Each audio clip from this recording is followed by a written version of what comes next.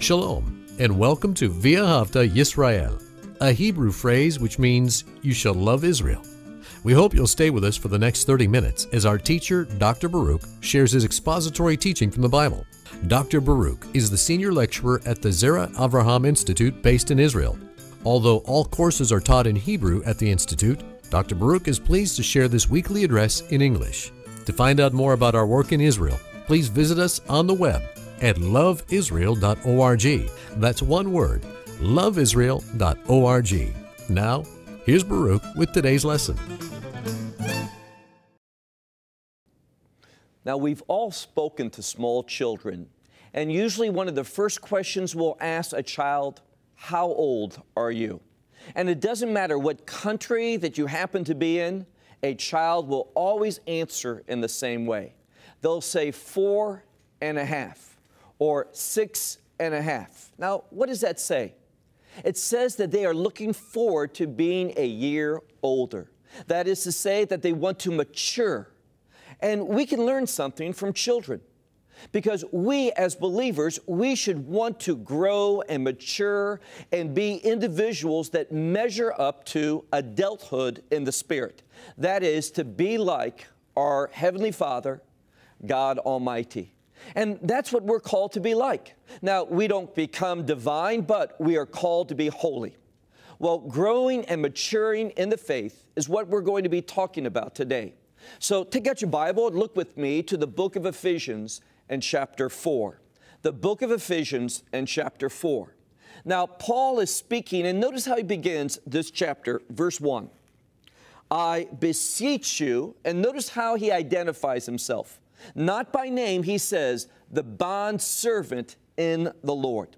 See, I believe that Paul wanted to emphasize as a mature believer, as a leader, that he wasn't elevating himself but he understood that he was a servant. A servant, and this term means one who has been purchased, one who is indebted. So, Paul wants to share with us the fact that we are purchased by the blood of Messiah and we are indebted to him. Now, notice something else. I beseech you, I, the bondservant in the Lord, and what is he beseeching? And this is a strong word. It shows something that is very important he says that you might walk in a worthy manner. Now, Greek is a very precise language. No matter what the order is of the words, we can see what is the subject, what is the verb, what's the direct object.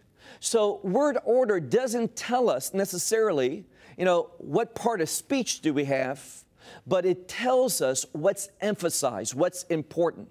And here, the first word that he says in that second sentence is the word worthy. That we're supposed to walk in a worthy manner. And that word doesn't just mean worthy, but it can also mean appropriate. That is, that we should walk in an appropriate manner. To what? Well, keep reading. To the calling by which we have been called. Now, let's stop for a moment I want to emphasize, and we're going to see this four times in this passage. We are going to see that, that there's a call placed upon us. And why is that so important? Because many times people simply say, Yes, I want to accept the gospel, I want to be a believer, I want all the benefits of being a child of God. But the problem is this they don't think about the call upon their life. So we read here, and this is very important that we see, that we have been called by a calling. One of the important aspects of a child of God is this. Not only when we die are we going to be in the kingdom of God, that we're saved, that we're redeemed, but also we need to see that there's a call placed upon us for this age, how we're supposed to conduct ourselves. And this goes back to what we're talking about about being mature and growing and reaching the full stature of a true believer. So let's press on to verse 2. The question is well, oftentimes people don't understand this calling. And in actuality, we need to have it revealed to us. Now, why do I say that? Well, look at verse 2. There is some things that help us hear from God. That is to understand that specific, that individual call upon our life. And that's why he says, verse 2, with all humility, and this next word is a word for silence or, or quietness. And that's important because in order to be humble, we shouldn't draw attention to ourselves. This word for quietness or being still is a word that says that I don't need to be the center of attention. I'm not trying to get people to notice me and look up to me, rather, humility.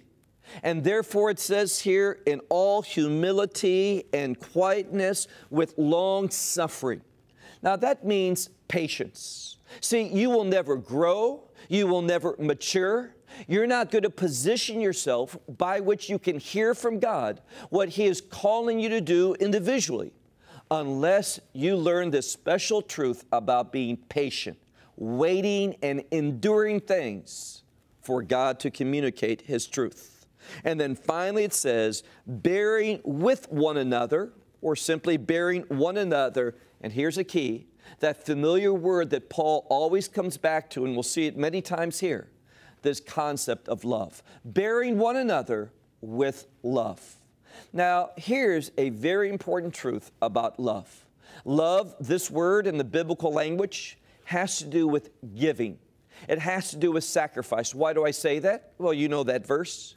For God so loved the world that He gave, that is, He sacrificed. So, what I want you to see here is this when we have endurance, patience, when we're willing to suffer long, endure things, and our motivation is love, what is that? Not ourselves, but what is best. Now, here's an important truth. When we're behaving in love, it does not mean that we do what someone else wants. No, it's in love. You know, we don't have any scripture where, where Israel called God, God, send your son into the world. But out of love, he did what was best for his, his people. And not just for Israel, but it says, for he so loved the world that he gave. So this is an important truth for us. And this is all about, and we'll see it develop in a few minutes. It is all about the person growing, maturing, reaching that full measure of what it means to be a disciple, a follower of Messiah Yeshua. So these things are important. Move on to verse 3. He says, striving to keep the unity, and in this fourth chapter, especially this first section that we're going to learn today, we're going to see that several times this word unity appears. And unity is a precious thing. When we were learning in uh, uh, the book of Jonah, we, we talked about for a moment this, this incident that happened all the way back in the book of, of Genesis. In Genesis chapter 11, that Tower of Babel, where God confused the languages so the people would not have togetherness, they could not communicate. So we find here that communication and, and unity go hand in hand. And how are we going to be able to communicate and have unity? Well, that's what he's going to reveal right here. Look again at verse 3 striving or enduring, however you want to translate that word, to keep the unity of the Spirit in which we are bound of peace. Now, it's that same word in a different form, but same word that Paul, when he says, I am a bondservant of the Lord, it's the same idea of being a servant or in bondage to peace. Now, bondage, we may hear that and we think of a negative thing. But what it has to do with is God keeping us in what? Peace. And understand something about peace. Peace, and we've mentioned this many times, peace is not simply the absence of problems or conflict or violence, but peace is the fulfillment of God's will.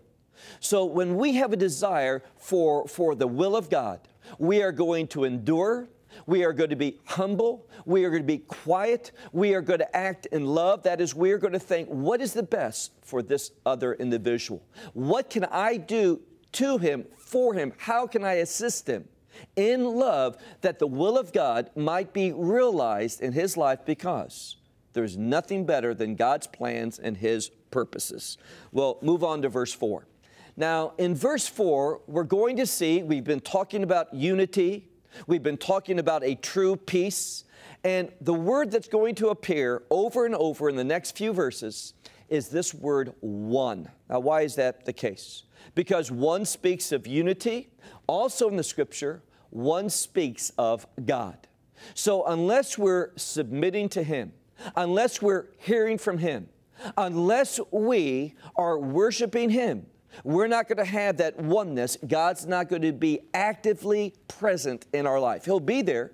He promises never to leave us nor forsake us, but we're not going to be a recipient of His, his ministry to us, to, to empower us and equip us for what He has called us to do. Unity is a necessity for that. Verse, verse 4, He says, There is one body and one spirit. Now, what I want you to see here is this body, this is the body of believers. And he says there's one spirit, that is the Spirit of God. Yes, he works in the individual, but he does so for a collective purpose. So that's why it says, one body, one spirit, just as you were called in one hope of your calling. Now, here's again this, this emphasis on calling.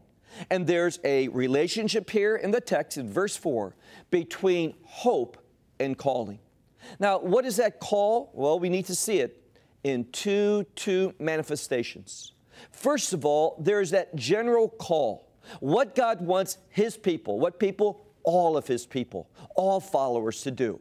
How we conduct our life, this character, and we're going to talk about, and we have before, this character of the kingdom whereby we demonstrate the attributes, we, we behave according to the mind of Messiah, all that in a general sense.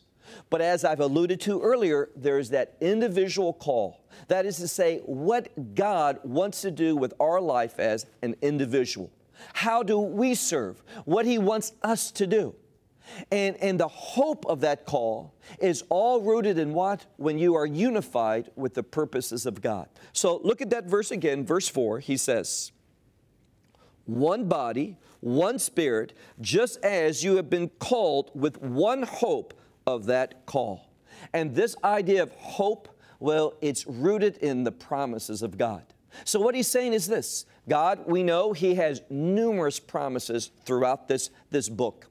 And what I want you to see is this it is only when we respond to that general call, the attributes, the character that every believer should have, doing the various things, the, the Word of God, obeying His commands, then we're going to grow and mature.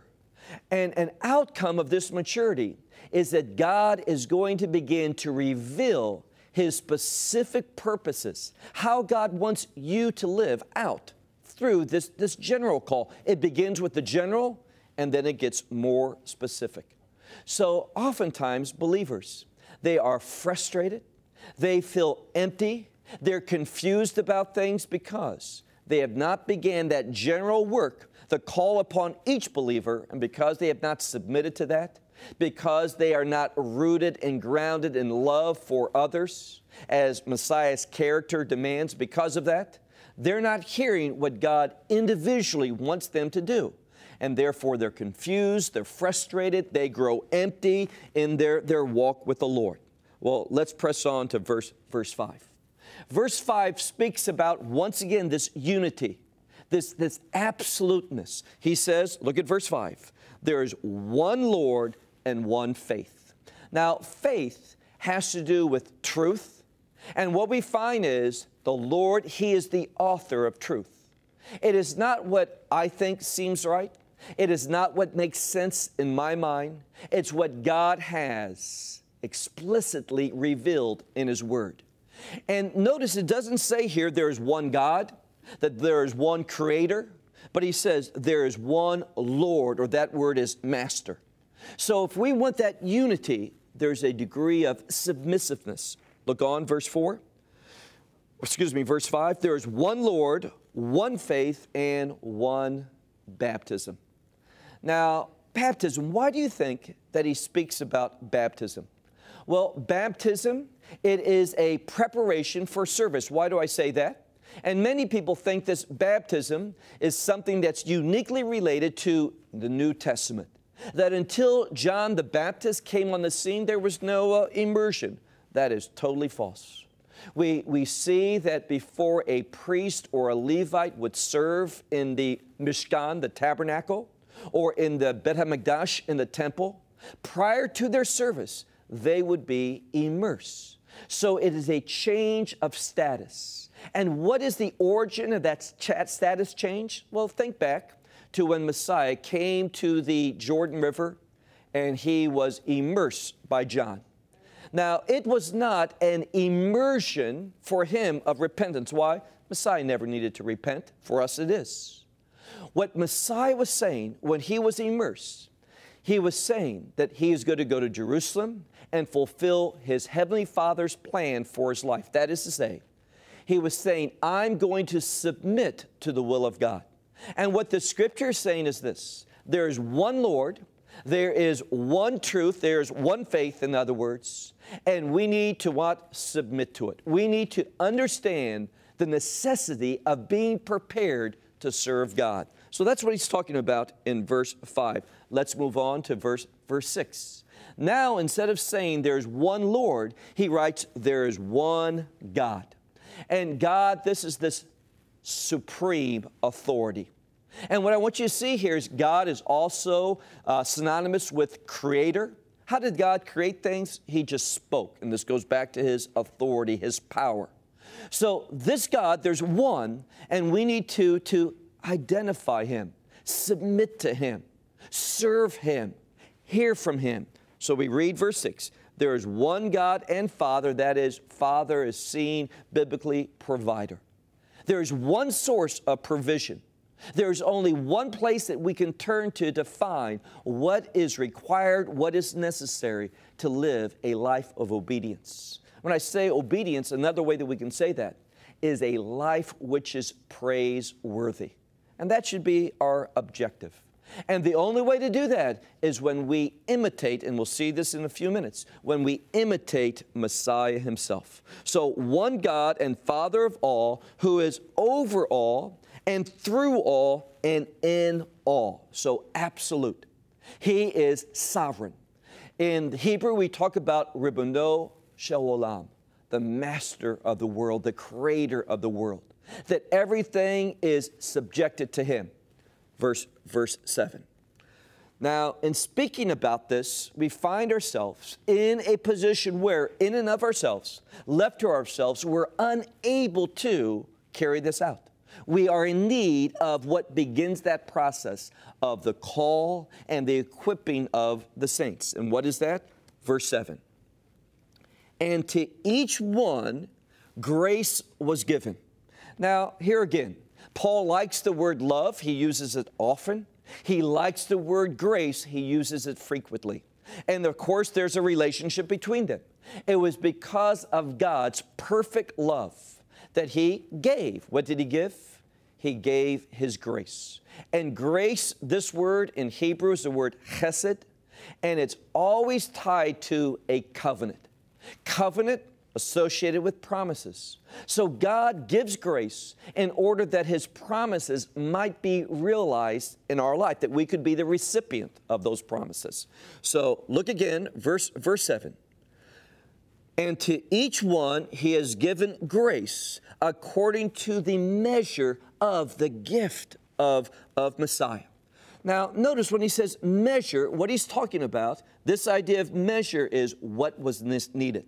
It's not saying that he gave uh, some to, to others and less to, to others. No.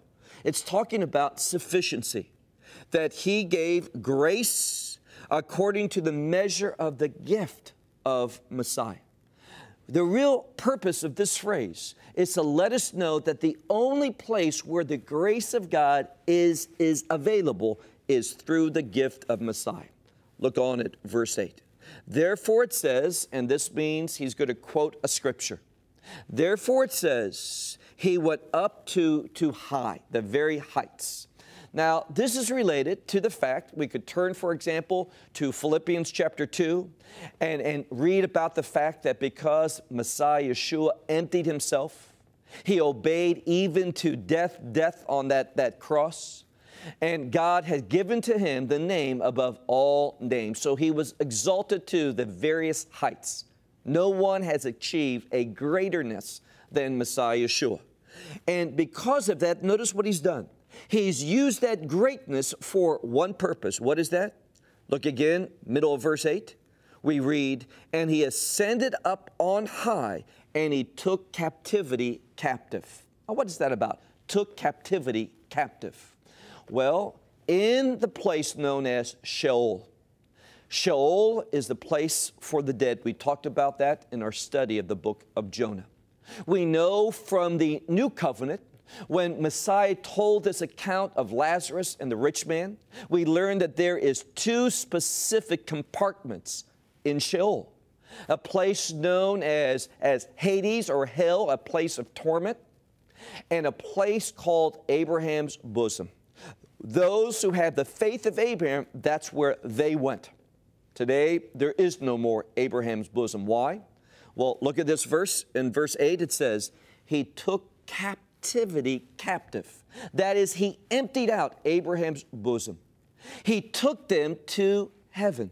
And I want you to see that He did something.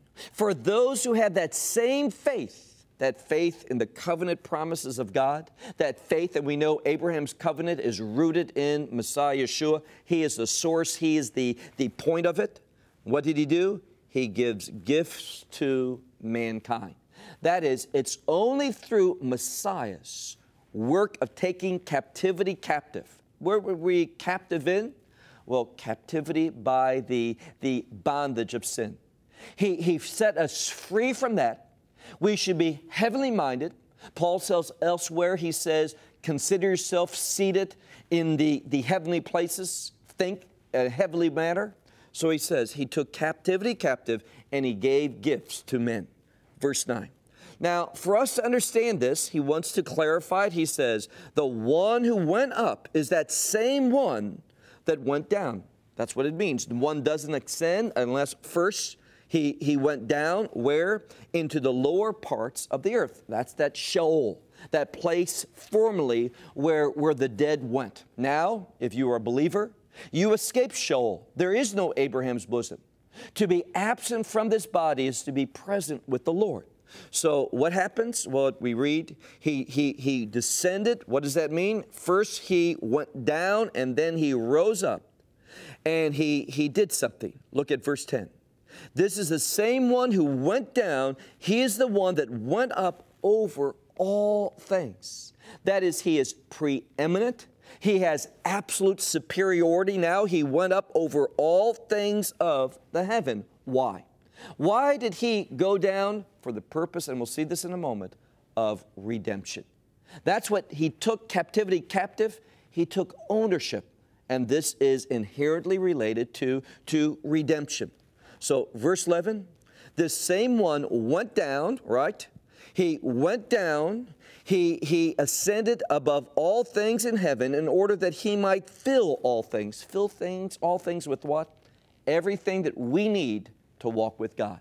Everything that we need to manifest the glory of God. Everything that we need to be faithful, to grow, to mature, and as we'll see, to grow into the full stature of an adult, a mature believer. Look at verse 11. Now, in verse 11, he's going to talk about service. Why? Well, the reason that we have been saved, remember that call upon our life.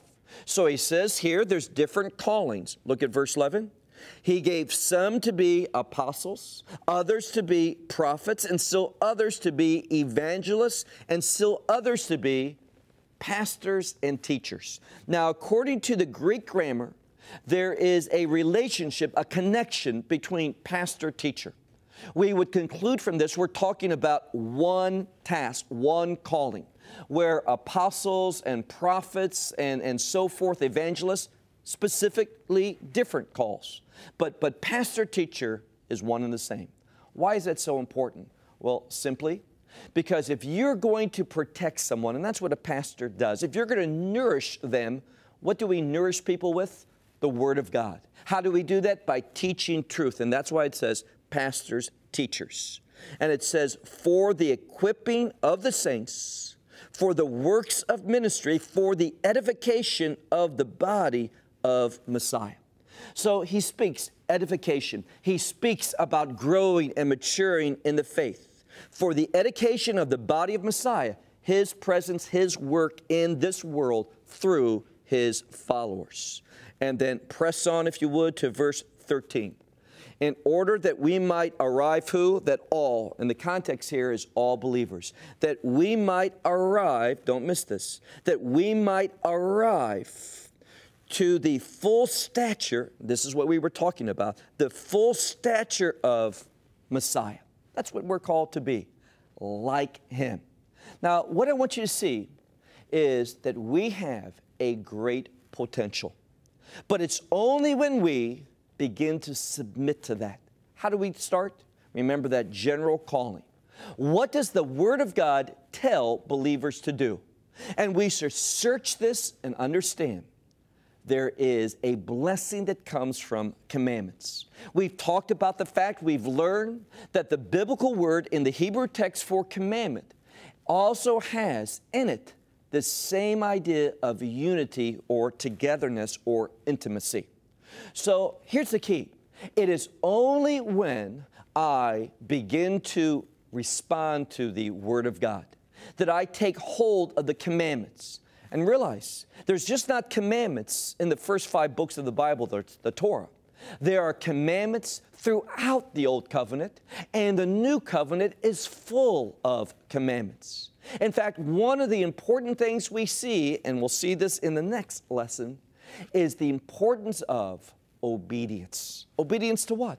The Word of God, that we might submit. And as I said, it is only when we begin to submit to these general things that He calls all believers to do. It is through that that we begin to hear from God. And God begins to direct our paths in a very personal way, what He specifically wants us to do. And that's why He talks about in verse 13 that we might be a, a, a good person? No. He says here, more than that, that we might grow into a perfect man, into the full measure and stature of Messiah. And that's why the body of believers is not just called an ecclesia, those who are called out, but we're called the body of Messiah, that we might represent him in this world. And it's only when we take on that call in love that we're going to see the work and the anointing and the power of the Holy Spirit being released in our lives. Well, I'm out of time. Until next week when we carry on in Ephesians chapter 4. Well, we hope you will benefit from today's message and share it with others. Please plan to join us each week at this time and on this channel for our broadcast of loveisrael.org. Again, to find out more about us, please visit our website, loveisrael.org. There you will find articles and numerous other lectures by Baruch. These teachings are in video form. You may download them or watch them in streaming video. Until next week, may the Lord bless you in our Messiah Yeshua, that is, Jesus, as you walk with Him. Shalom from Israel.